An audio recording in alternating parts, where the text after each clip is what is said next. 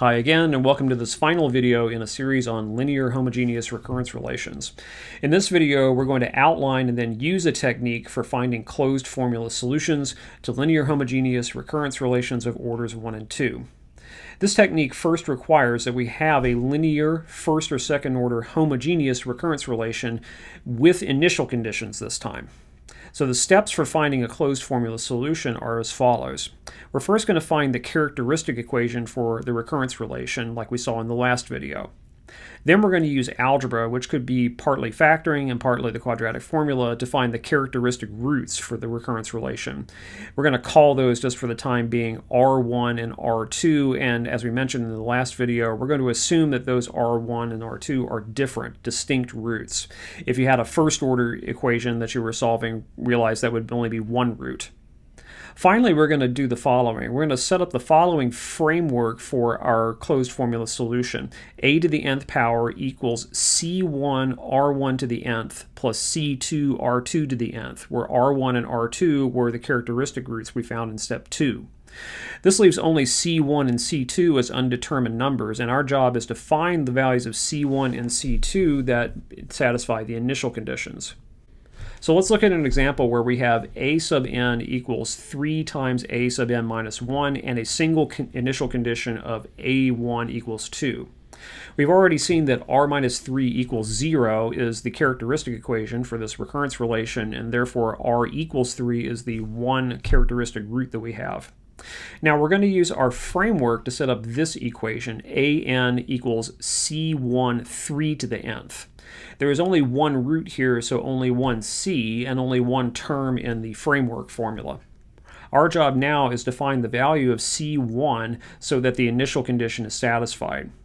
We do that by noticing that when n equals 1, a of 1 is equal to 2 because that's what the initial condition is.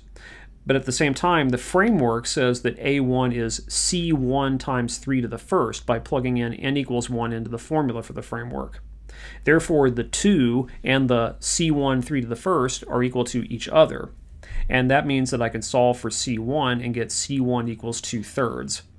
Now we can go back to the framework and put in 2 thirds where we saw c1 to get our closed formula solution. You should take the time now to stop and check that this solution really works using the solution checking techniques that we discussed in class. Our second example is a little longer.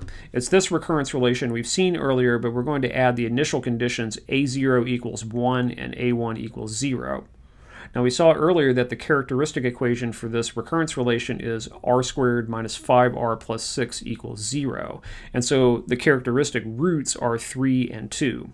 These are distinct roots, and so we can set up our framework by just plugging in the roots, but leaving the C1 and C2 undetermined.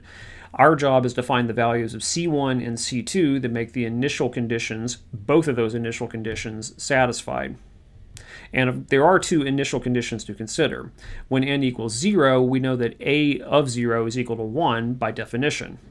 And so A0 is also equal to this, which is what we get by taking the framework formula and plugging in n equals 0. Likewise, a of 1 is equal to 0 by definition, but a1 is also equal to the expression we get when we plug n equals 1 into the framework. So what we have here are two linear equations that that are simultaneously true, otherwise known as a system of linear equations back in algebra, or perhaps more recently in linear algebra, if you've taken that course yet, we've learned a number of techniques for solving systems of linear equations. I'm going to use a very simple and crude technique for solving one of the equations for one of the variables, substituting it into the other equation, and then solving for the remaining variable. That gives me c2 equals negative 2. If I plug that back into the other equation, I'm going to get c1 equals 3.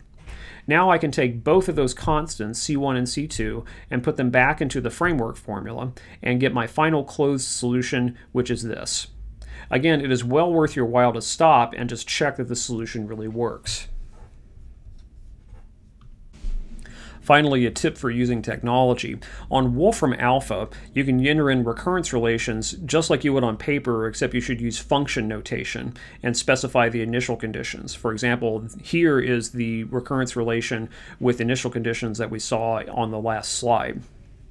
When you enter this in and hit enter, Wolfram Alpha will solve the recurrence relation for you. Using Wolfram Alpha in this way, you can practice solving recurrence relations almost infinitely. Just make up recurrence relations and make sure they are linear and homogeneous in either first or second order, solve them by hand using the technique you've just seen, and then check them with the computer. Some parting notes here. First, this technique does not work if the characteristic roots are duplicated, only if the roots are different. There is a variation on this technique if the roots are repeated, but we will not study it in our class. Secondly, an analog of this technique also works for third and fourth and higher order recurrence relations as well. We're just going to stick to the first and second order cases for the sake of simplicity. Thanks for watching.